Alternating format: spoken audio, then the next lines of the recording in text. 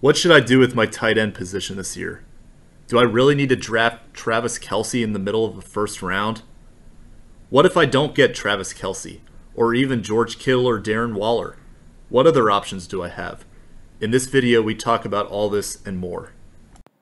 What's up, everybody? We are back with another episode of Fantasy Football 201, an advice show on my channel geared to helping you win a fantasy football championship. I picked 201 because 101 was not available. It was already taken by somebody else. So in this video, we will talk about tight end strategy and what you should do for the tight end position in fantasy football. If you're interested in more content on my channel, please check it out. I make a wide variety of videos, not just fantasy football. If you're interested in any of that, please check out the description below. But now we will get into the tight end position for fantasy football in 2021. So, Tight end is a very frustrating position for a lot of people in fantasy football because there are a few elite tight ends that are excellent options for you to have, but then after that, there is a very steep drop off, and you're sifting between a lot of players who perform not only relatively about the same by the end of the season, but their output week by week is also very inconsistent. So, to illustrate this, I'm going to uh, just take you through the average, or the, uh, excuse me, the performances over the last three years in terms of fantasy football tight ends, which will be displayed here as well. So you can see just how significant the drop off is between the elite tight ends and the rest of the tight ends in the NFL. So we go all the way back to 2018 where we start this off. We look at some trends that have been going on since 2018. And if you notice here, Travis Kelce was the number one tight end in 2018 with 287 points. Um, you'll notice that is a very consistent trend as we go through this. Travis Kelce being at the top. Then it was Zach Ertz at 274, George Kittle 252. Drop off a little bit to Eric Ebron and Jared Cook, and then things really start falling off. You get Austin Hooper Kyle Rudolph, and then you're all the way down by the time you get to the number 10 tight end, Rob Gronkowski, into the 120s. So this continues in 2019. Again, Travis Kelce at the top of this list. He had 248 points last in uh, 2019. Number two, Darren Waller, 216. then you had a couple tight ends that did pretty well right around that range. George Kittle, Zach Ertz, Mark Andrews. Austin Hooper did okay, but then things start dropping off again right around that 6 to 10 range. You're all the way down to, at number 10, you've got a score of 140, which is over 100 points less than Travis Kelce. 2020, it's even worse. And a lot of this is because George Kittle was injured and Zach Ertz has been uh, um, past his prime a little bit, for lack of better words. Travis Kelce, 306 points, easily surpassing his numbers from previously. Darren Waller put up excellent numbers as well. And then after that, it was a drop off of almost 100 points to Logan Thomas, Robert Tonyan, uh, TJ Hockenson, and Mark Andrews did decently well, but then things start continue to drop off further, and you're back into the 140s when you get into the round the range of tight end number 10, which is again half the value of what Travis Kelce scored. So my overall point in bringing this up is that there are very few tight ends that put up excellent value and then if you're you don't get one of them, then it's essentially the same situation as kickers, where you're you're having to sift through a lot of guys that are performing relatively about the same. And then to make matters worse, a lot of these players that you have in a tight end position that are performing right around the 150s to 140s to 130s, they're not doing it consistently either. They have some games where they have 10 points, 15 points, and other games where they do not score at all. So you are essentially stuck in a situation where you're having to rely on guys that are just wildly inconsistent. And this is thus why a lot of people go the streaming route in tight ends. So, is there a preferred method to have in terms of having Travis Kelce, George Kittle, Darren Waller, or one of the elite tight ends, or to just go off the stream? So, it's a little more complicated than that. So, there are three options that you can basically go. One is to get one of those elite tight ends, and you're going to have to take them relatively high. Travis Kelce, I'm going to get into this a little later, but he's going to be a first round pick. George Kittle and Darren Waller are going to be third round picks probably. And this is because they are going to be they're not only great at their at their position and at putting up points, but relative to everybody else, it creates a huge need for them that you wouldn't typically have uh, if, if let's say there were wide receivers performing at that value. So it, it is very important to make sure that you plan out if you're going to take one of these three players, what you're going to do is in terms of filling your other positions, in terms of your pass catchers and running backs. The other route you can take is to try to pick a young rising tight end, somebody who looks like they've got a bright future ahead of them and could eventually one day become one of those elite tight ends or put up numbers that give you great value, um, even compared to the rest of the tight ends because they're a young tight end that's in a developing system where they're going to um, have a lot of opportunity. We'll get into this a little more later, but some examples of guys that are worth considering in this situation are T.J. Hockenson.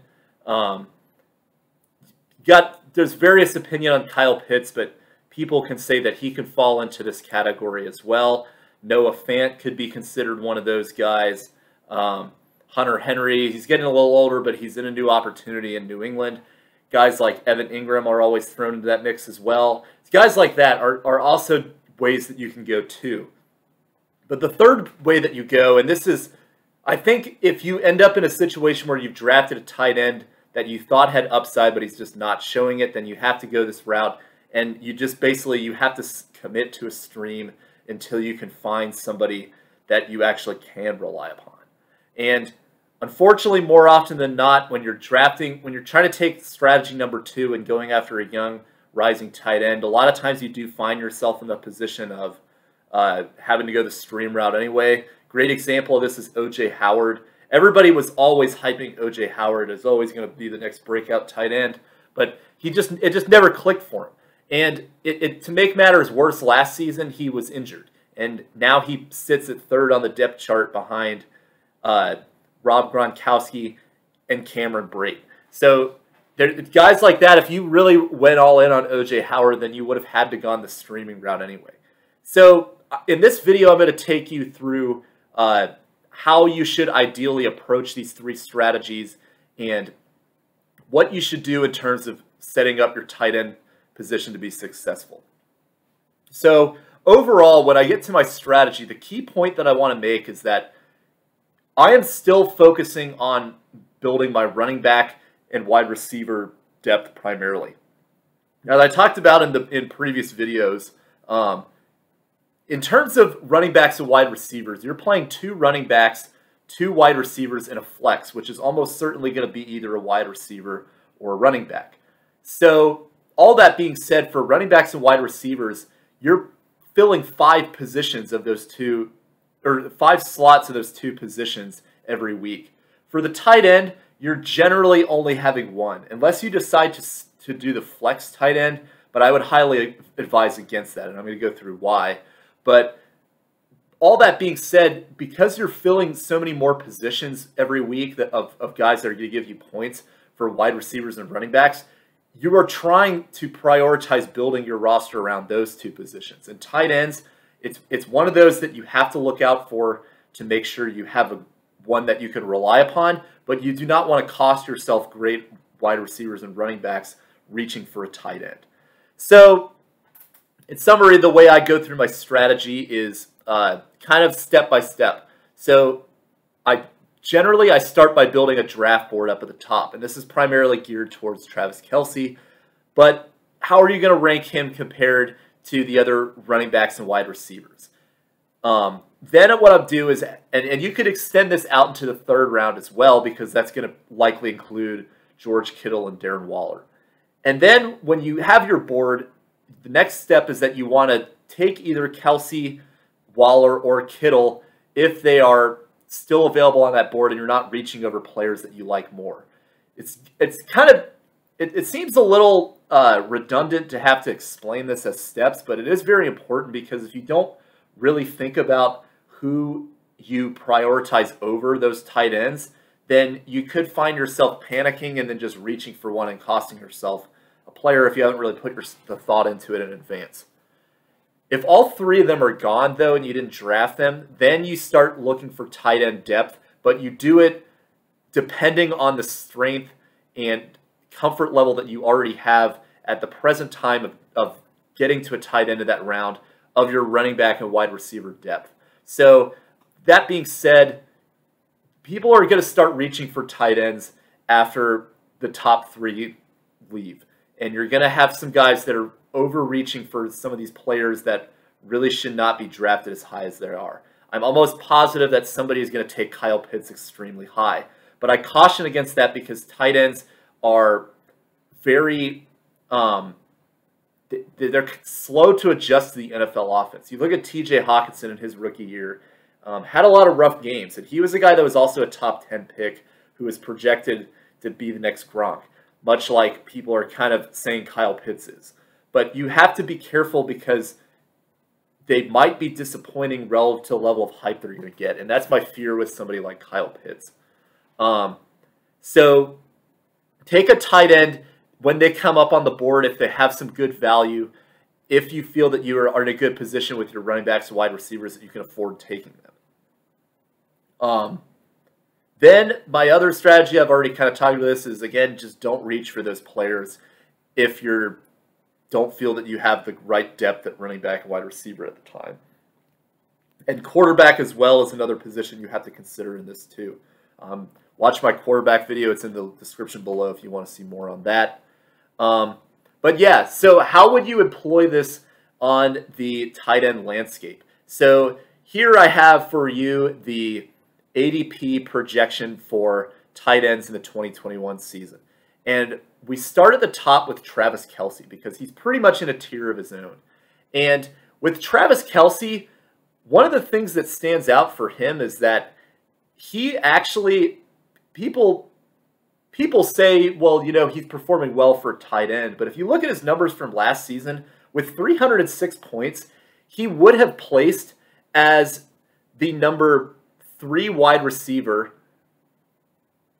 based on his performance. The only people who outperformed him were Davante Adams and Stefon Diggs. And then right after that, Travis Kelce came right up on the board. So you're essentially getting an elite wide receiver at the tight end position with Travis Kelce.